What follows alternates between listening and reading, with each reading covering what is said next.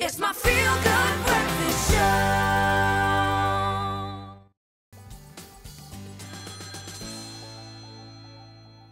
Exciting moments in our Feel Good Breakfast Show studio. It is time for our culinary hotline, so you need to give Zola R a call. She's standing here to answer your burning food questions. If there's a cooking conundrum that you have, give us a call. Your personal chef is here on speed dial 083 91 33728. Also, if you've got a Facebook or Twitter question, don't forget to use our hashtag for this morning. It is hashtag Expresso Show, and we will answer your questions live on our Feel Good Breakfast Show. Morning, Zola. Morning. How are you? Okay.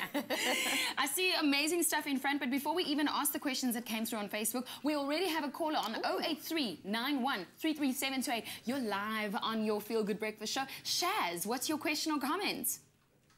Morning. Hi, Hi, guys. Shaz. Love the show. Just want to say love the show. Love you, love You you. guys are doing awesome job. Thank uh, you. My question today is um, prawns, frying garlic prawns.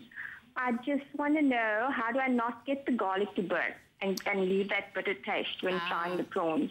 Good idea. Thank you, Shaz. Thanks. So she's talking about garlic. It's Yes. lekker. Okay, so how do we do- get the garlic not to burn? Okay, so garlic burns very easy, especially when you finely chop it. Mm. So make sure your heat is at a medium heat when you're frying your garlic. Then you can turn it up because you want the prawns to cook, cook quickly. But a tip is to actually slice the garlic instead of chopping it really fine. Cook it into in the oil, so flavor the oil. Then take the garlic out and cook the prawns in that oil. Because Okay. then you still get the garlic flavor, but you don't get the burnt garlic. See, you said something important. Put the garlic in the oil because I was going to make a mixture and do it. The, you know, like how you marinate a steak? Uh, yeah. Right, right, right. Yeah, that's a that's the risk you take when with burning it because Mm-hmm. obviously you're gonna cook it at a high heat. Because prawns, you know, they want to cook it at a high heat because you want to keep them juicy and delicious. lekker. but yeah, Medium or heat. fry the garlic first, medium, so that you know it, it sort of um, takes the flavor out. What's the what's the word I'm looking Mm. You for? flavor the oil. Correct.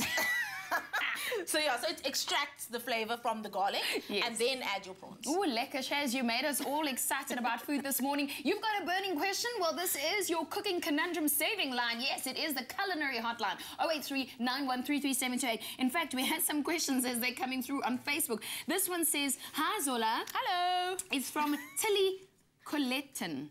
She Okay. says, Oh, Colleton. she says, How do you make a proper sweet and sour sauce? Mm. Okay, so it's very simple to make a sweet and sour sauce. Right. Um, okay, so the, I'm gonna take you through the steps very quickly. Right. If you do want the recipe, it's on our Facebook page and it will be on our website. Expresso website. Morning Show SABC3. How Oh, do we get started? Okay, so you take some corn flour here. You add it to some water. Let me just take our aprons away here. Please do. Thank you. Okay, so corn flour, equal amount, so a tablespoon of corn flour and a tablespoon of water. Right. Make a slurry. Okay, this is what a slurry what did is. you say? A slurry. A slurry. When you mix corn flour and water, that's called a slurry. A slurry. Okay. Then here are the rest of the ingredients into a pot. Tomato sauce, because you know how sweet and sour has that pinky color, right? Yes. The sour comes from rice vinegar. Rice You can vinegar. use white wine vinegar if you don't Okay. have.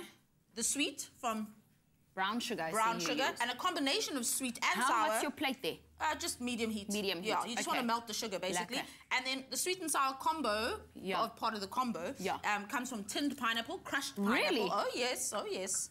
Oh yes. Okay, I'm learning And then some soy sauce for a beautiful color as well. But your soy sauce is thick. Yes, you do get thick soy sauces. Okay, so it, uh, it doesn't matter. It doesn't matter. Mm. Regular soy sauce is perfect as well. Okay. So then what you do is you melt the sugar and you bring this to the boil. Mm. Okay. Then you take your slurry. The reason why we make a slurry is so that we don't get lumps.